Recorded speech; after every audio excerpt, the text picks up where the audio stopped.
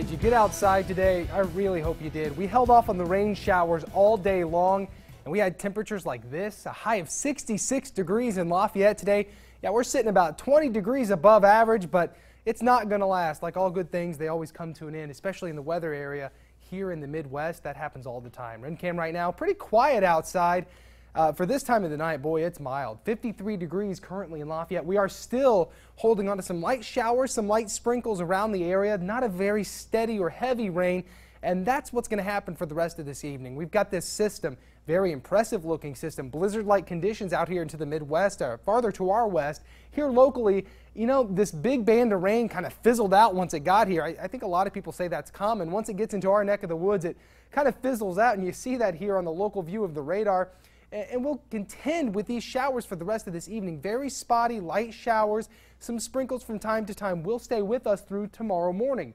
You see here on Futurecast Monday at 11 a.m., we will still hold on to overcast skies and spotty showers. Again, not very heavy rain.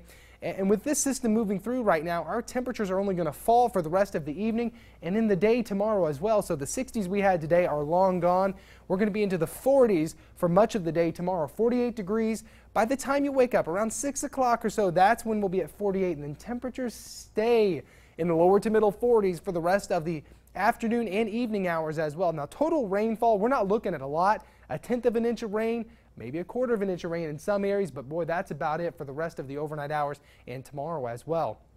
Futurecast gets rid of this system Monday afternoon and evening. Again, spotty showers will start to fizzle out throughout the day. We'll stick with the cloud cover until about Tuesday morning. Notice Futurecast Tuesday morning, we start to get a little bit of a clearing trend. I think it'll be a partly cloudy day on Tuesday and into the afternoon and evening, a little more cloud cover uh, throughout Wednesday as well. Now, overnight tonight, a very mild night. Again, 56 degrees overnight, but that occurs early where we are right now, 54. Temperatures are only going to fall from there, and that's going to be the trend for the day throughout tomorrow.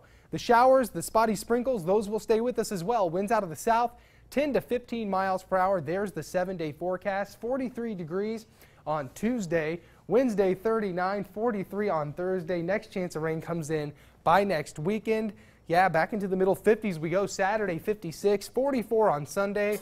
Uh, not to be the bearer of bad news, just the meteorologist here, but it looks like after the seven day forecast, uh, cooler than average returns. In fact, we may have highs in the 30s uh, for next work week. Jesse, it seems like you're often the bearer of bad news, actually. You know what? But I'm often the bearer of good news too. In the summer months, like, yes. Like today, right? Come on now. Yeah, today was really nice. I saw a lot of people out walking their dogs today. It nice was day to be outside. A very pleasant day to be out there. All right, Jesse, thank you. Well,